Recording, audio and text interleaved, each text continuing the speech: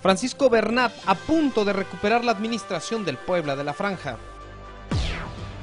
La presidenta del Patronato Puebla de Lectura critica la lentitud del gobierno mexicano para repatriar a los connacionales varados en Chile tras el terremoto. Ella padeció la burocracia. Crece la polémica por la reunión del líder municipal priista con el candidato a gobernador de la oposición. Esto es InfoTV, la información más importante de consulta.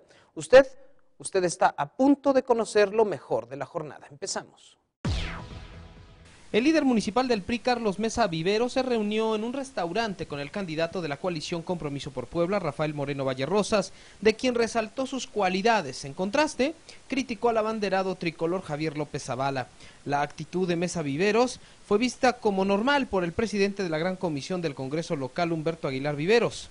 El secretario de Desarrollo Social del Ayuntamiento de Puebla, Víctor Manuel Giorgana Jiménez, calificó de incongruente al dirigente. En tanto, Alejandro Armenta Mier, presidente estatal priista, rechazó que haya intenciones de destruir al exdiputado local por el coqueteo político. A su vez, la diputada federal panista, Augusta Díaz de Rivera, abrió las puertas del Instituto Blanquiazul a mesa si es expulsado del PRI. El Frente de Juntas Auxiliares y Colonias de Huejotzingo protestó contra la intención de la dirigencia estatal priista de imponer a Felipe Gorzo Ortega como candidato a presidente municipal. Felipe es hermano de Pablo Gorzo Ortega, quien tomó una curula en el Congreso local ante la licencia solicitada por Janet Rodríguez. El grupo consideró que la mejor posicionada para la postulación es Mirna Toski. El líder estatal del PRD, Miguel Ángel de la Rosa Esparza, explicó que la expulsión de Irma Ramos Galindo de este instituto político se debe a que la diputada local no paga sus cuotas, pero sobre todo porque ayudó al candidato electo del PRI, Javier López Zavala, a realizar una denuncia en su contra. Es operadora de López Zavala, dijo de la Rosa Esparza, quien calculó que en una semana concluirá el trámite. El pacto que firmaron los líderes nacionales del PRI y PAN, Beatriz Paredes Rangel y César Nava Vázquez, respectivamente, fue a espaldas de los diputados federales, manifestó el coordinador de los legisladores priistas en San Lázaro, Óscar Aguilar González.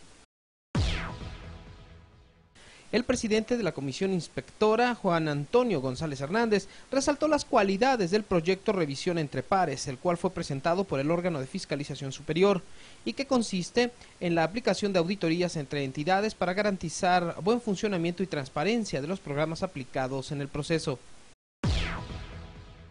Las mujeres hoy están de moda no porque la presidenta sea mujer, dijo Blanca Alcalá Ruiz ante cientos de poblanas congregadas en el Zócalo con motivo del Día de la Mujer. Luego de hacer un recorrido por una serie de módulos de atención médica, la alcaldesa aseveró que en Puebla el debate sobre la denominada ley antiaborto fue politizado y esto impidió realizar un estudio 100% serio sobre el tema. La Benemérita Universidad Autónoma de Puebla puso en marcha el sistema interno de transporte universitario Lobobús en Ciudad Universitaria, el cual beneficia de manera directa a más de 30.000 universitarios, quienes podrán trasladarse al interior del campus de manera segura. Serán 12 puntos los que cubre el sistema universitario, entre los que se encuentran la Dirección de Administración Escolar, Cultura Física, Derecho y Contaduría Pública. Alma Carrasco, presidenta del Consejo Puebla de Lectura, criticó la respuesta tardía por parte del gobierno federal para apoyar en su regreso a México a los 36 escritores y académicos que se quedaron varados en Chile después del terremoto que sacudió dicho país el pasado 27 de febrero. La académica de la Benemérita Universidad Autónoma de Puebla afirmó que la Embajada de México en Chile prometió que enviarían un avión de la Fuerza Aérea Mexicana el pasado 2 de marzo, el cual nunca llegó, por lo que su regreso fue posible debido a que la aerolínea LAN Chile endosó algunos boletos de avión y otros más fueron auspiciados por la editorial SM. Y ahora, los deportes. El ingeniero Francisco Bernat Cid recibió la notificación por parte del juez noveno de lo civil federal de que la administración del Club de la Franja fue revocada a Ricardo Naine y aunque el proceso judicial continúa en espera de una sentencia final, las decisiones económicas y deportivas recaerán nuevamente en su persona y el grupo de trabajo que conformará a partir del día de mañana la nueva administración camotera. Y por un acuerdo de hace aproximadamente un año me habían revocado la administración. El día de hoy el mismo juzgado noveno me la está devolviendo y está revocando la administración temporal de Ricardo Naine. Ricardo Naine simplemente queda como un socio minoritario sin ningún poder en la sociedad.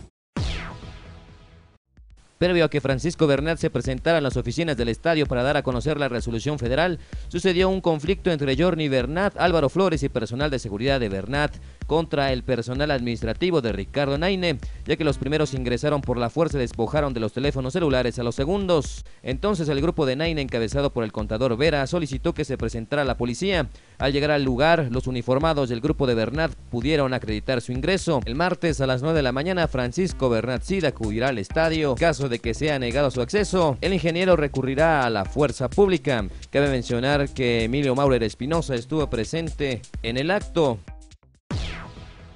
Los malos oficios de Ricardo Enagne hicieron mucho daño. Entonces las cosas tienen que volver a su nivel. El equipo Puebla se tiene que manejar como un equipo Puebla, que el gobierno tiene que estar fuera del fútbol. Esto fue Info TV. Soy Fernando Pérez Corona y nos vemos la próxima.